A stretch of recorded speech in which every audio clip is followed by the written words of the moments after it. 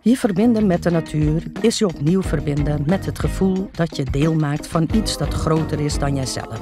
Het is een overgave aan de elementen die je notie van persoonlijke schaal aanpassen. Het zorgt ervoor dat je op je plek voelt. Daniel en Gita kwamen om zich los te maken, vooral van technologie.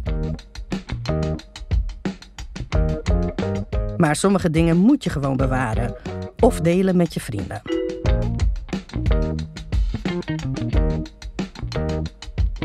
Laat muziek gewoon je avontuur leiden.